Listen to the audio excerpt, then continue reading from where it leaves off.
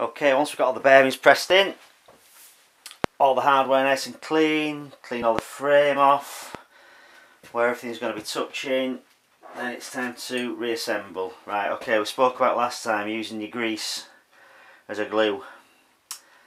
Grease up your uh, back of your bearings or where the interface with the uh, with the washers washers is, and then um, I've already put the anti-seize on the bolt so when the bolt passes through the uh, inner race of the bearing we know that this alloy and the steel is protected from, um, from corrosion.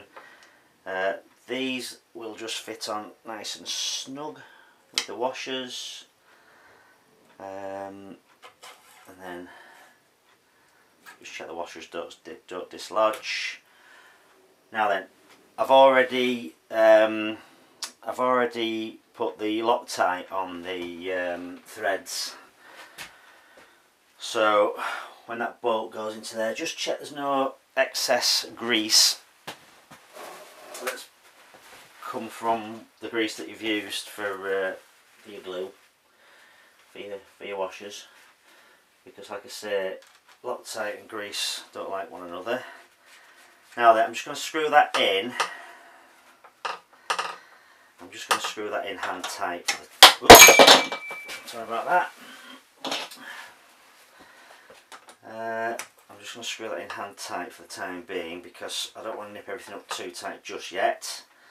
I'll do that all together when uh, when we put the whole thing back together.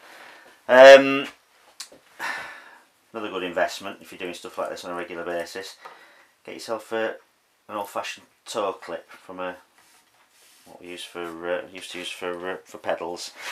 Uh, nice and uh, eco-friendly, reusable for years and years and years. I don't know about three or four quid on uh, on Wiggle for something like that. Okay, I've greased up the uh, the inside of the bearings there where the washers go. So they'll stick on there and hold in place for me to get the bolts in. The threads in the um, in the rocker linkage there again I've already uh, put the Loctite in there. So when I offer that onto there again just be careful not to dislodge your, your little washers. Just uh, line that up. And then get your bolt, bolt in place. Don't have to nip that up too tight just at the minute just so it engages with the threads. Okay nice this side, so it engages with the threads. Um, it'll tell you generally on the bolts uh, 20, 20 newton meters. 20 newton meters is an awful lot of uh, torque on there. Personally, I think that's a bit too much. I mean, they are a big bolt, but these are only soft, these alloy bolts. So what happens is, if you torque that up to 20 newton meters, uh, when you come to undo it, it's going to be an absolute pig to get undone. And you don't want to be rounding off this soft alloy with your tools. So now, I, I, I tighten up bolts quite a bit, so I could sort of guess that, you know, if I tighten that up, that's probably, I don't know, seven, between 7 and 10 newtons. I better check that with a torque wrench, I won't be far off to be honest with you. Um, that's more than enough to stop the bolt coming loose with that Loctite. Just get them nipped up and then don't need that clip anymore.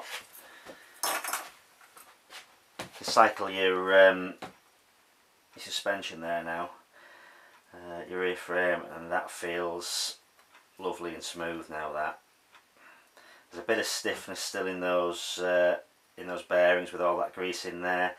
But no that's uh, that's perfect. Job done. All back together